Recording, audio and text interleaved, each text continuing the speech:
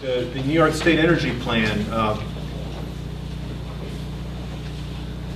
uh, this, this all began with a state law that uh, is actually Article 6, adopted in 2009 by the state legislature, um, that basically said there shall be a state energy plan. It requires uh, the creation of Energy Planning Board, and these are the different agency members that you see on it. Basically, every important head of an agency here in New York is part of it, and it's chaired by the president of the New York State uh, Energy Research and Development Authority, which is NYSERDA. Uh, the fellow's name is, uh, is uh, John B. Rhodes. He's also presided at the various uh, public hearings that have taken place so far. The timeline that we're dealing with is that a scoping document was produced in 2011. There were several uh, board meetings that they had. Uh, the energy plan itself was released in January on January 7th of, of this year. But we didn't get the whole thing. We, there, there, are two documents that are missing, they're still missing, that we're waiting for. A greenhouse gas inventory document and uh, energy efficiency and renewables energy potential in New York State. These are critical documents that we're still waiting to see, and arguably it's really tough for us to comment intelligently on the plan when we haven't been given these documents. So that is something that uh, some organizations have already put in uh, uh, FOIL requests to try to get that information. Hopefully we'll get that before too long. There are six public hearings that have already, ta already taken place. Uh, written comments are due by April 30th of this year. Um, and it had been March 30th, but thanks to the good work of, of Jessica and, and, and, other organizations, um, we've got that extended by 30 days. Still not a lot of time, but we have until April 30th to comment. And they're targeting for adoption in the spring of, of, of this year. So when you open this thing up, you'll, you'll see, well, this is the document right here. Um, volume one is the first part of it. There are 15 different initiatives identified, and some of them are bold and sound actually kind of impressive. Some of them are downright bad, and you know we'll talk about that. Uh, but all of them are vague. They talk about clean energy in vague terms without telling us what that means. Um, Governor Cuomo's Green Bank is discussed, and I'll, I'll mention this too. Energy efficiency infrastructure with an emphasis on natural gas. So this is a problem. Uh, this is a, a, a, big concern with, with this document. And then you've got uh, volume two, which uh, breaks, uh, it's a lot of data basically. And you have a sources document that, that tells you where we're getting our energy from, uh, what kind of fossil fuels it is, whether it's nuclear. Um, the end use energy, how we're using it, is it fuel that's going into our cars or electricity, and then impacts and considerations. And you know, I'll talk to you about how this is woefully inadequate to consider impacts and considerations too. Um, but, but, but basically, uh, you know, when, when we look at this document, a lot of us found ourselves asking, where, where is the plan itself? You've got volume one that has these kind of bold sounding initiatives. You have volume two that, that has a lot of data in it. But we're asking, where's volume three that actually says what we're going to do and how we're going to, how we're going to do it? Um, you know, how does the plan go address greenhouse gas emissions and climate change? And, and what is the goal of the percentage of energy that we're going to be getting from different places, and specifically renewables? And when is that going to happen? These things aren't spelled out. You know, we need some benchmarks to know how this is going to take place over time. How is this going to be phased in? Are we taking this seriously? Um, what kind of fossil fuel plants exist today? Which ones of those have to be shut down? How are we going to phase them in with renewables? to make the transition that we need to, to have. All these are important things that aren't really addressed in the plan. Um, what we got instead were a lot of graphs and charts and pictures, um, basically uh, indicating where we are today and indicating where different agencies think we might be going based on their own baseline forecasts of what the agencies think will be in the future uh, based on existing trends. So there's a lot of data and charts relating that, that type of thing. And, and, and then you'll see that this document is just like chock full of pictures, like really pretty pictures. of, solar panels and wind farms and, and people and, uh, and kids uh, playing out on the street. And it's, I mean, it's, as a, as a PR type of thing, this thing would get an A plus. Um, but, but, it needs more in terms of real content. So lots of pictures. Um, and, and pretty people too. So I mean, these, anyway, um, And, and then you, you have these quotes that kind of jump out at the page for me too. These, these, these, uh, these words from, from people of importance, Thomas Edison and Ra Ra Rachel Carson, and they're good quotes too. I mean, if we did all the things we're capable of, we would literally astound ourselves. Well, we agree with that, and we want to be astounded, but this plan really isn't astounding us. And uh, Rachel Carson, you know, our, our hero, uh, I'm always more interested in what I'm about to do than what I have already done. This is a great quote. We're also interested in what the state's going to do, not what they've already done or not done. Anyway, so uh, it's a little bit ironic. Um, so that kind of fell flat. And so it didn't start out that way, and this is key though. If we step back a little bit back in time and go back also to 2009, there was an executive order that was uh, uh, passed by Governor Paterson, And it was intended to address the critical issue of climate change. This is the executive order right there. Basically, it has an ambitious goal, goal assigned to it, essentially saying that it shall be the goal of New York State to reduce current greenhouse gas emissions from all sources by 80% below the levels that they were in 1990, and to do that by the year 2050. That's a pretty bold goal, actually. Um, and uh, when you're talking about all sources, you're not just talking about energy too, you're talking about agriculture, there are methane emissions from, from agriculture, livestock and so forth. I mean, it's everything. And, and even within energy, we're not just talking about power plants, we're talking about vehicles, vehicle emissions, uh, the fuel that we use in home heating and so forth. All of these, these, these uh, an 80% reduction across the board from 19, below 1990. That's a pretty big, pretty tall order to achieve. But that was in the that was in the executive order from Governor Paterson. Again, like I said, it was all sources. Um, and they they had and they had a uh, climate action council to do this, and that group was charged with preparing a plan too with a draft report that was supposed to come out in November 2010 and, and a final report in May of 2011. Um, they, they had an org chart and they had a schedule of things that they were going to do. Um,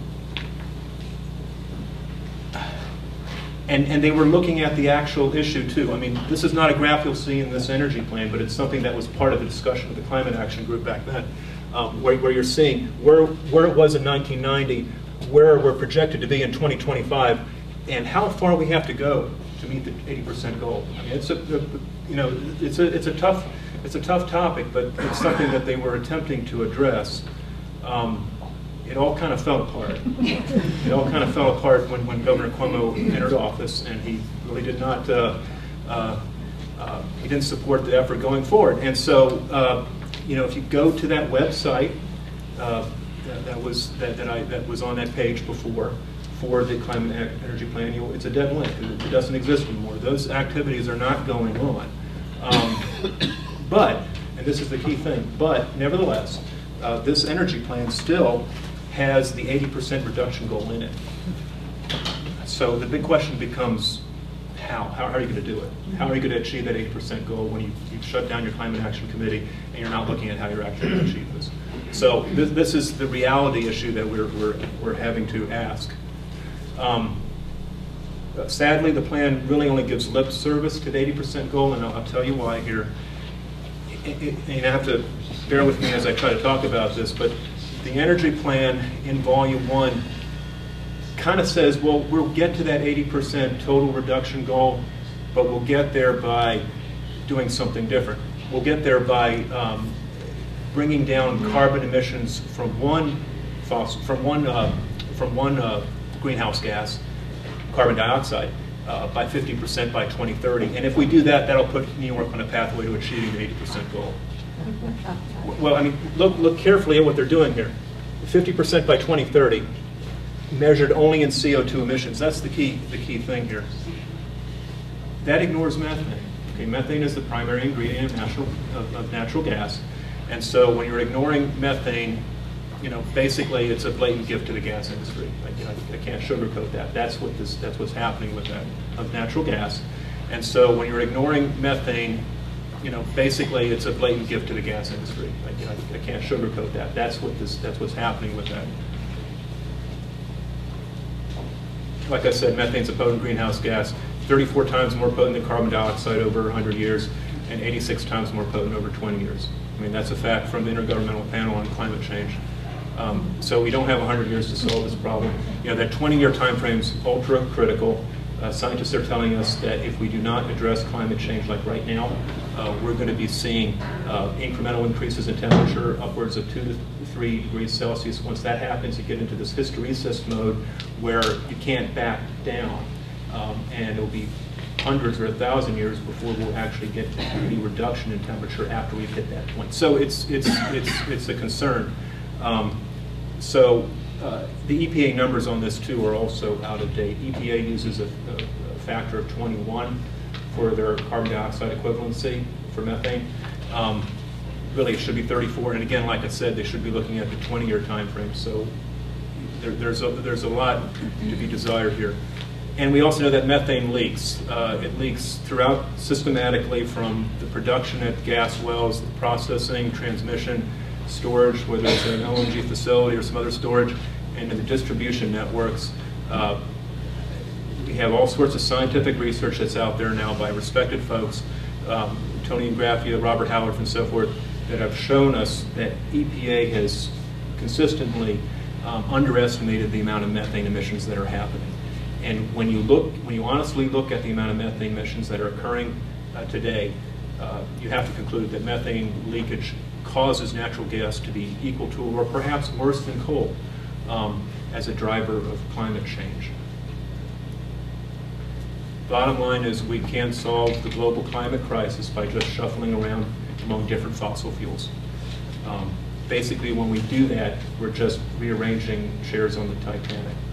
Okay, and speaking of the Titanic, um, uh, the Titanic didn't have enough lifeboats, but they had some lifeboats. Okay, planet Earth, as we know, there aren't rocket ships to take us some other place. We don't have any lifeboats. If we screw it up, then that's it.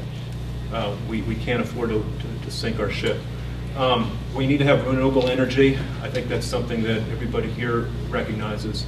Um, unfortunately, it's not something that the state energy plan recognizes. Uh, the, the, the plan that we have before us really is rolling out the carpet to natural gas.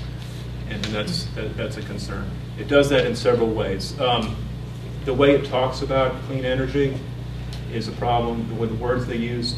The term clean energy is used throughout the document, but the term is never really defined. Elsewhere in the document, you see the plan describing natural gas as clean.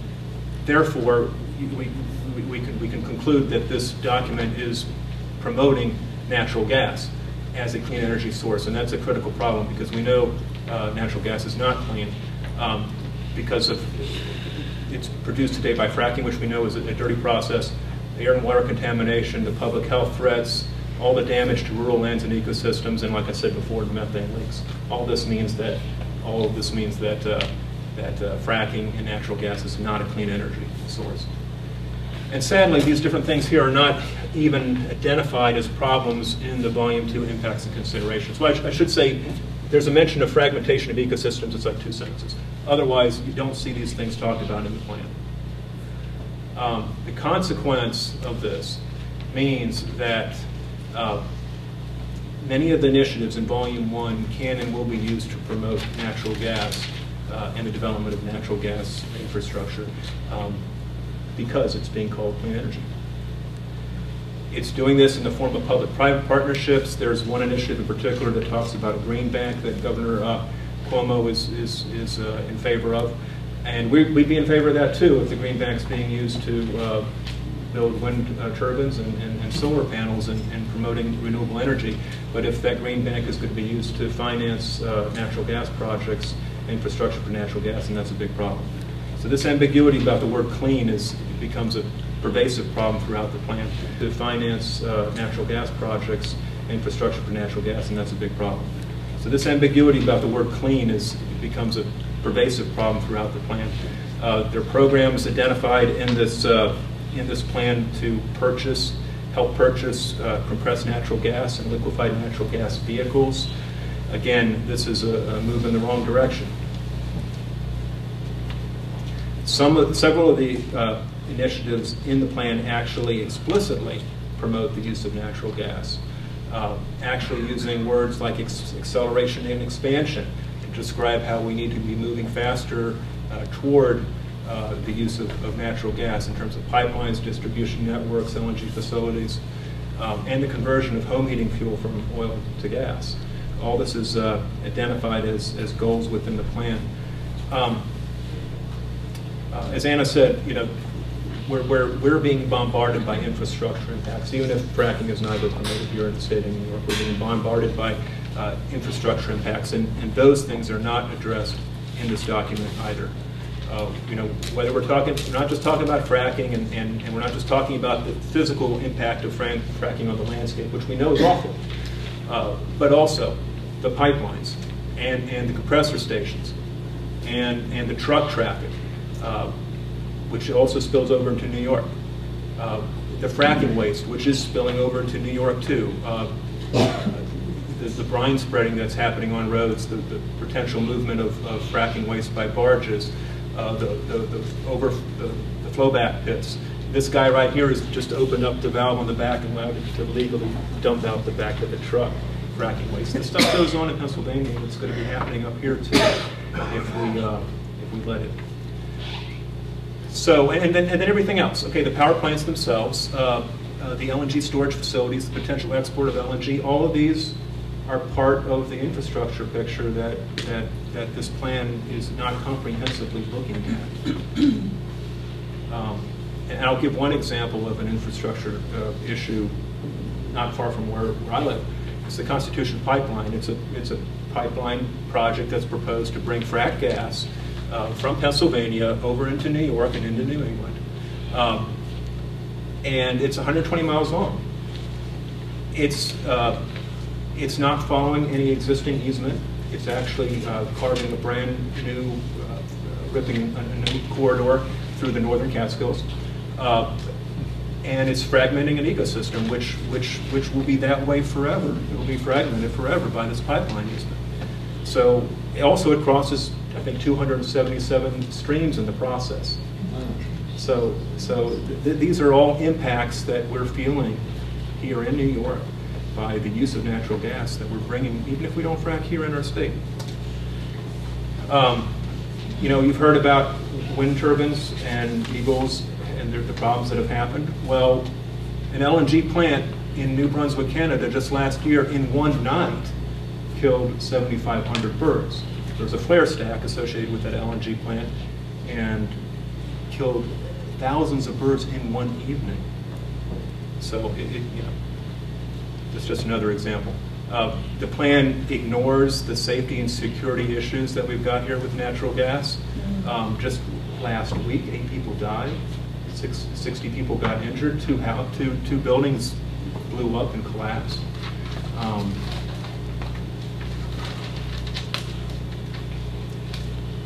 another issue I've been working on is LNG and the regulations that were, proposed for LNG. Uh, back in 1973, 40 people lost their lives when an LNG facility blew up. Um, and uh, unfortunately, what we're seeing is a push now to allow LNG facilities to be built once again in the state of New York, and so we're potentially facing these type of, of threats again. LNG is, uh, is a liquefied natural gas. In liquid form, it's one six hundredth of the volume it takes as a gas. Uh, and the, the way it's kept in a small compact form is by cooling it down, making it very cold. It's cryogenic temperatures, minus 260 degrees Fahrenheit. When it spills, it rapidly expands. And when it rapidly expands, um, it, it, it can become a, a, vapor cloud and you light a match and you have a, a big explosion. So, so this is, these are problems. Um, I don't, I mean, everybody here knows that New York State has had more than its share of, of, of uh, horrible events as it relates to terrorism. Um, and uh, in 2008, there was actually a congressional report that identified liquefied natural gas as a particular threat. Basically, that report said LNG infrastructure is inherently dangerous and potentially attractive to terrorists. And when this report was written, um, there actually had not been an, an attack on, on an LNG plant. However, just last year there was. In, in, uh, uh, in, in, Yemen, there was there was an attack on an LNG plant. So this is a threat. the, the, the thing is, if we have more and more of these type of facilities, occurring in our state, we're exposing ourselves to this threat. Again, it's not a topic that's addressed in the plan. And the plan, let's talk about fracking too for a second here. The plan is very wishy-washy about the subject. It does not rule out fracking. You know, there's been a little bit of misunderstanding here. Some have thought, have said that fracking is not talked about in the plan. It actually is. It's on page 88 of the sources document. It starts out with a statement that says that the state's natural gas production is expected to decrease. This sounds good. It says that we're expecting the natural gas production to decrease due largely to projected declines in production and a lack of new wells being drilled. So that starts out as a, with a sentence that we're all happy with. But then it includes a forecast anyway that shows uh, natural gas uh, ramping up. And it says, well, it's a conservative estimate. It actually could be more than this if permitting and production difficulties relating to horizontal drilling and hydraulic fracturing can be overcome. I'm not sure what a permitting difficulty is. I, guess we're a permitting difficulty. Yeah. Which, uh, so, but, but anyway, so, so we're, we're, we're seeing this, this strange parsing of words. And then it concludes with a statement that says, well, regardless, regardless of, of the actions in New York State, the supply of and the demand of, of gas will continue. And we don't have to worry because sufficient gas supplies should be available from outside the state as long as the interstate pipeline capacity exists to serve New York. So th this is the problem with infrastructure. And, and to me, I think there's, there's another moral issue here too. Uh, because essentially, when we're saying things like that, we're, we're essentially saying that even if we decide that fracking is not safe for us here in New York, uh, then we're still peachy keen and everything's fine as long as we import frack gas from somewhere else to the detriment of those people in that other place. And to me, that, that, that's, a, that's a morally reprehensible stance to take. And I think all of us need to be pointing that out. Um, anyhow, uh, so that's garbage. Um, there's, there's another problem here um, relating to nuclear power. There, the way the, the plan kind of creates another mechanism for promoting natural gas through the back door uh, by, by offering up these imaginary forecasts for the future of nuclear power. Uh, the plan assumes that we can continue to rely on today's existing aging nuclear reactors, and it even predicts even greater energy production from, from those reactors, uh, even though no new reactors have been proposed in New York State. And all the licenses uh, are set to expire before 2050, and I think some of them by 2040. Um, and, and Governor Cuomo himself and his administration has opposed the relicensing of Indian Point. Okay, so there's a reality problem here. Uh, bottom line is, when reality sets in, when nuclear power plants are going to be shut down, then you have this question, how are we going to deal with the energy uh, issue? And, and, and sadly, in the document itself, and you can find it on a particular page here, they talk about how if we shut down Indian Point, we can still be okay, we'll get gas. Um, we can we can fill that gap with gas. It would require 31% more power from natural gas, uh, forecasted by 2020. That's their solution. That's a, that's not the right answer. Um, again, that's garbage. So, uh, you know, what does the plan say about renewable energies and renewable energy and efficiency? Well, again, we've established there are lots of pictures in the document of, of, of solar panels and, and wind turbines. That's nice. But the fact is the plan forecasts little growth in renewables, and really it, it shows that growth ending after 2020. Um, it admits to, to missing the renewable portfolio standard target that was set for 2015. They're not going to make that. Um, they talk about extending the renewable portfolio standard program to 2025, but it doesn't set any targets for, for, do, for, for what those um, should be. Um, and, and it concludes, sadly, that the potential for, for renewables is limited. They're basically saying that no matter how hard we try, no matter how, we, how hard we might try, the best we can do is to get 18% of our energy needs met uh, by renewables in 2020, and the best we could ever get is 37% by 2030. Um, that's not going to solve our, our, our, greenhouse gas problems. That's not going to get us to where we need to be. Um, and, and, and disturbingly, this statistic, this claim about what we cannot do, is buried in this document, which is one of the two documents that we haven't been allowed to look at yet. So, um, on energy efficiency, it's kind of a, a similar message here, unfortunately. They vaguely refer to improving building codes and encouraging greater enforcement, but they really don't say how they're going to do that. There aren't any particular building codes that they're talking about improving. There aren't any specific actions that have been identified for enforcement. Um, the, the plan discusses the energy efficiency portfolio standard, but it only commits to that program through 2020, and again, it doesn't set any targets for the future either. Um, and I also got to point out that the existing efficiency targets aren't being met either. There was a 15 by 15 goal of reducing New York, New York State energy demand 15% with energy efficiency improvements by 2015. That's not uh, being met. And there was actually a plan oh, a few years ago, which was called the 45 by 15 initiative, uh, that said we're going to meet 45% of New York State's electricity needs with renewables and efficiency by 2015 next year. That's not even close to happening. So you don't even see that talked about in the plan. Um, again, the document concludes that the potential savings and efficiency for electricity um, is less than, than, than, than it really is. Uh, basically, they're, they're saying it's a 43%, but when you, when you, when you dig deeper, um, that the most you can actually achieve in terms of efficiency is only 20%, and that's the best we can hope for. Again, I can't tell you their analysis because I can't see it because it's in the document that we haven't been allowed to look at. So, what, what does this all mean? Uh, well, th this is a chart, one of many, many charts uh, about that, that depicts a forecast of, of just where electrical energy is going to be coming from in the future. 2012, 2020, 2030. Um, I, I, looked at their data and I, just because I was interested in this, with the shutdown at Indian Point, what, how this table changes. Um, and uh, I, I, using software, I was able to, to, to create these, these pie charts. Um, this is a forecast of failure. This is 2012. That's 2030.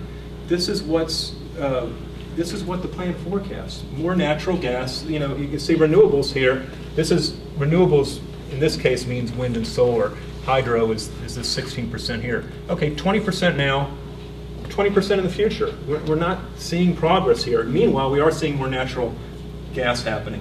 If you put take again, I was interested in what happens with Indian Point coming out of the picture. More natural gas. So this is not this is not the future we want to have. Um, and, and the reason these forecasts are important, are important to understand by everybody here, is that there's a particular provision in the New York State Energy Law. It's the Article 6 that I started out with uh, discussing. There's a particular provision that says any energy-related actions or decisions of a state agency, board, commission, or authority shall be reasonably consistent with the forecasts and policies that are in this plan. So if you have a document that gives you these kind of baseline forecasts of where things are, of what will happen in the future if we don't do anything, but then the plan does not go on to say with what what the future will be if we take strong, specific action, then, then you're, you're, you're left with a, a horrible situation whereby the danger, I mean, the danger ends up being is that in the absence of planning, that these forecasts, the baseline forecasts, will become the de facto plan. Okay, and this will you know, citing that provision of the statute, they can say, well, this is what we have to abide by. This is the future that we need to prepare for. It becomes a self-fulfilling prophecy of even greater dependency on fossil fuels. Um, so what do we want? What we want is a real plan that takes the threat of climate change seriously with decisive action and measurable benchmarks for switching New York State from fossil fuels to renewables. That's what we want, right? Um, we, we need to do this because it's the only way we're going to meet the 80% reduction goal is by a switch to renewables uh, in, a main, in, in a major way because it's the only way to achieve the lasting energy independence that we could achieve here for New York State and, and as a nation by switching to renewables. Um, it's the only way to avoid the global climate catastrophe that we're going to face if we don't. And, and frankly, like I said before, I think it's our ethical responsibility to others who share this planet with us and who suffer from the ruinous impacts of fossil fuel extraction, like in Pennsylvania. So, you know, the, the, the good news is that we do have a uh, we, we, we, do have a model to, to look at. Uh, just last year, there was a report and that was prepared by uh, several uh, uh, prestigious uh, experts, scientists and economists, Mark Jacobson, Howard, Robert, Robert Howarth, um, um, Tony Ingraffea, and so forth. They came up with a plan that said we actually could move to renewables. We really wanted to put, get our act together, we could do it by 2030 to get to 100% renewables in this state. And they laid out what it would take to do it. Okay, what kind of facility improvements would have to be made? What kind of facility changes would have to occur? Um, you know, I, I don't know that that is feasible because of politics as it is, but it is a model that we need to be looking at. I think I think all of us believe it needs to be considered as part of this plan.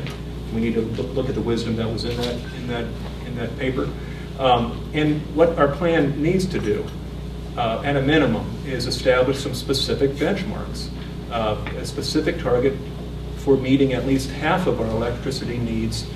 Uh, power generation electricity needs with renewables by 2025. That's something that NRDC is also saying. I think it's something we can all uh, find common ground in, in, in demanding. Uh, we need to establish a long-range goal of weaning New York State entirely off of fossil fuels. We can do that by 2050 if we try. Um, we need to know that when other uh, fossil fuel plants or nuclear power plants uh, retire, that they're not going to be replaced with frac gas that, that, that we are going to move to renewables. Um, and we need to have specific action with measurable targets over time to achieve this goal.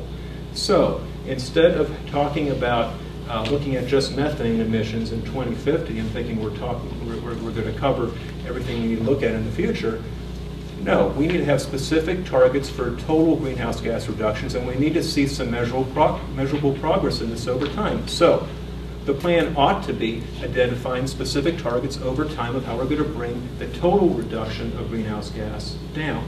Not just carbon dioxide, but all greenhouse gases, which include methane, and do it at specific benchmarks that we can measure, including benchmarks within the time frame of this administration, or the, I guess, uh, Governor Cuomo's next administration. Um, this is what has to happen if we're serious about the issue of climate change. Um, we should be seeing a schedule of power plant conversions uh, identified, what kind of infrastructure improvements are needed, uh, some specific information in this plan about building codes and appliance requirements, which does not exist right now. Um, we need to see a, an honest discussion of incentives for distributed, distributed generation and, and efficiency.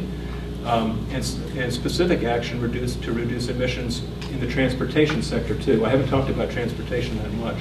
Um, but I will point out one thing. There was a agreement reached by eight states, including the state of New York, just last year, a memorandum of understanding to collectively put 3.3 million zero-emission vehicles on the road by 2025.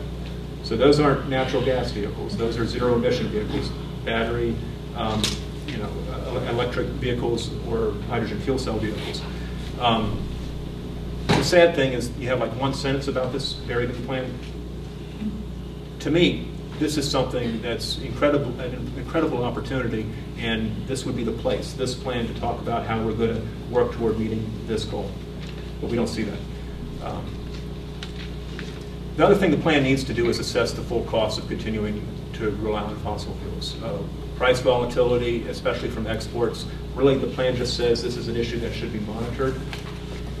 It doesn't, it doesn't uh, address the, the, the, the, issue of price volatility uh, with LNG being potentially exported overseas uh, at all. Um, again, the cost associated with all the negative impacts of fracking and gas infrastructure, there's a dollar cost with this stuff too.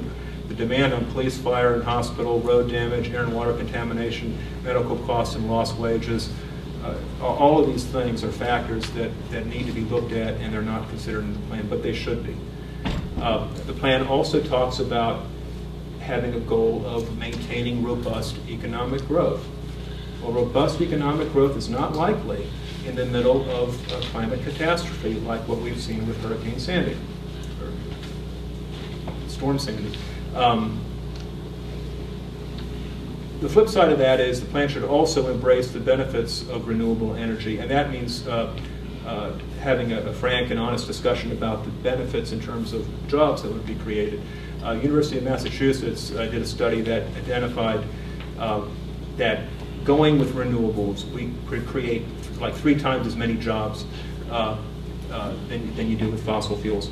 And uh, the Jacobson plan actually identified that if we go to renewables, we could create 50,000 permanent jobs in renewable energy right here in the state of New York.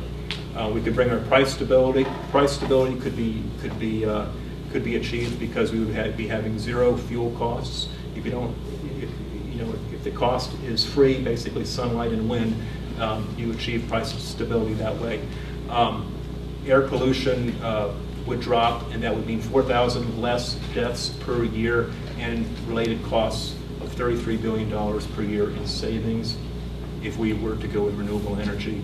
And uh, New York's contribution uh, to the total climate costs for the country uh, would, would, would be brought down as well if we went to renewable energy. So, um, you know, that, that's what I was going to say. Uh, comments, uh, I'll, I'll, mention a little bit about how you can comment on the plan. Um, April 30th is the deadline, like I said. That's the website, nysenergyplan.com. And there's a, and there's a, uh, uh, that's where you send comments to if you're going to do it by, by paper mail as well.